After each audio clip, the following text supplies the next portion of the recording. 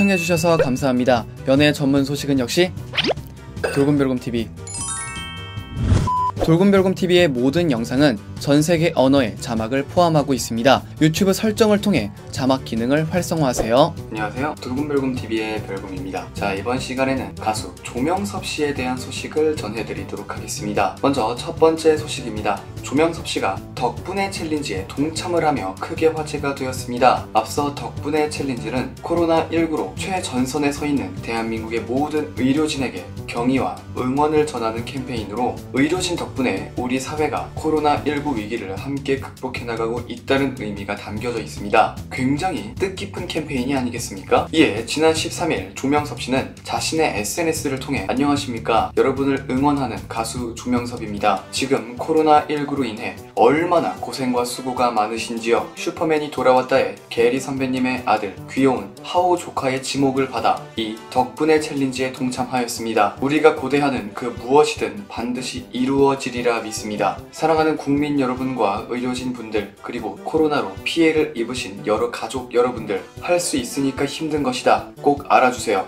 조금만 더 힘을 냅시다. 다음 주자로 덕분에 챌린지에 같이 동참해 주실 분들은 제가 많이 배우고 있는 가수 겸 배우이신 옹성우 선배님과 그리고 제가 아끼는 동생 가수 남승민 군입니다. 여러분 화이팅입니다. 등등의 글과 함께 한 장의 사진을 게재를 했습니다. 여러분 구독과 좋아요 잊지 마세요.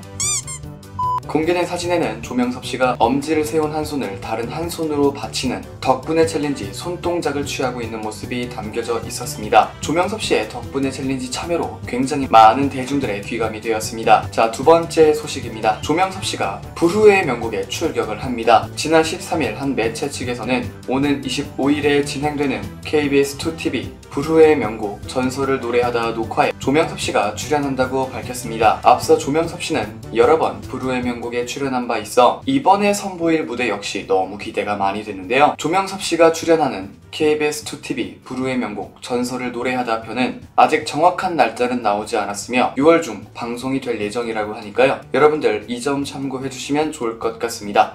앞으로도 조명섭 씨 계속 응원하겠습니다. 크게 화제가 되었던 조명섭 씨에 대한 소식을 전해드려 봤습니다. 여기서 잠깐 여러분들의 최애 연예인분들이나 각종 정보 기사 등을 댓글로 요청해 주시면 직접 선정하여 방송해 드릴 예정이니 많은 참여 부탁드립니다.